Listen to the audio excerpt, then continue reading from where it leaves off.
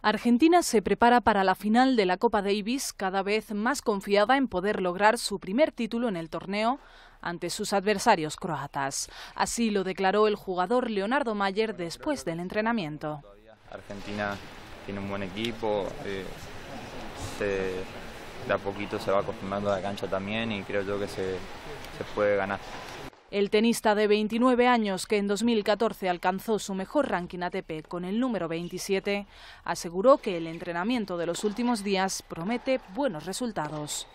Va bien, eh, se entrenó mucho para venir aquí, se, juega muchas horas en la cancha para acostumbrarnos y eso hace que, sea bueno y que para que Argentina tenga mucha, muchas ganas de ganar.